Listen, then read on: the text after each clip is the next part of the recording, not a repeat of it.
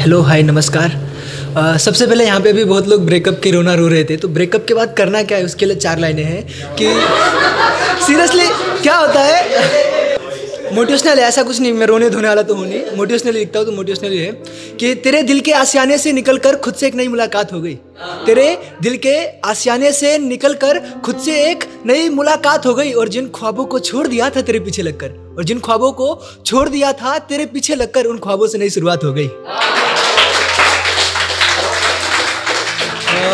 कई लोग हमारे औकात की बात करते तो उनके लिखा था कि मुझसे मेरी औकात पूछने वालों, मुझसे मेरी औकात पूछने वालों, तुम कब तक उड़ोगी हवाओं के सहारे मुझसे मेरी औकात पूछने वालों, तुम कब तक उड़ोगी हवाओं के सहारे कभी ना कभी तो ये तुम्हें ज़मीन पे छोड़ेंगी। कभी ना कभी तो ये तुम्हें ज़मीन पे छोड़ेंगी और तुम्हें ज़मीन पे छोड़ खुद आगे बढ़ जाएँगे। तुम उस दिन इस आसमान में उड़ के दिखाना और मुझे आकर अपनी औकात तुम बताना। कई बार क्या होता है, मंजिल के सफ़र में हम जब फ़र्स्ट स्टेप चढ़ते हैं, उसके बाद गिर जाते हैं तो गिर के जब हम लगी हुई मिट्टी झाड़ते हैं तो कुछ लोग बातें करने लगते हैं हमारे लिए। तो उसके ऊपर एक पोइट्री थी छोटी से, कि जब से टूट कर गिरा हूँ आसमां से जमी में, जब से टूट कर गिरा हूँ आसमां से जमी में, तब से एक अफवाह फैली है मेरे अपनों की महफिल में, कि जब से टूट कर गिरा हूँ आसमां से जमी में, तब से एक अफवाह फैली है मेरे अपनों की महफिल में, कि खो गया है ये कहीं दुनिया की इस भीड़ में।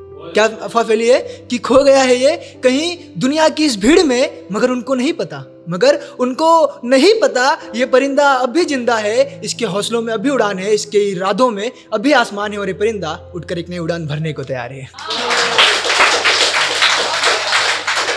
लास्ट एक मोटिवेशनल पोइट्री है, लड़ाई, यानी इसमें जो पेड़ के पत्ते हैं, यानी हम हैं और हवा जो चलती है, यानी हमारे आसपास जो लोग बातें करते हैं, उनके लिए एक पोइट्री है कि लड़ाई है कि हम वे पेड़ के पत्ते नहीं जो आसानी से झड़ जाएँगे। हम वे पेड़ के पत्ते नहीं जो आसानी से झड़ जाएँगे, हम तो पत्ते हैं जो हवाओं से भी लड़ जाएँगे और वक्त आने पे तूफ़ान से भी भिड़ जाएँगे। हम वे पेड़ के पत्ते नहीं जो आसानी से झड़ जाएँगे।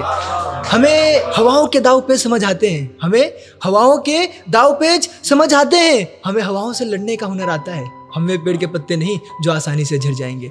हमने बरसात के पानी के नीचे हवाओं को दबते देखा है। हमने बरसात के पानी के नीचे हवाओं को दबते देखा है और उसी बरसात के पानी के नीचे खुद को निखरते देखा है। हम वे पेड़ के पत्ते नहीं, जो आसानी से झड़ जाएँगे। हमने गर्मियों की धूप में हवाओं को थकते देखा है। हमने गर्मियों की धूप में हवाओं को थकते देखा है और उन्हीं गर्मियों की धूप में हमने खुद को निखरते देखा है। हम वे पेड़ के पत्ते नहीं, जो आसानी से झड़ जाएँगे। Thank you so much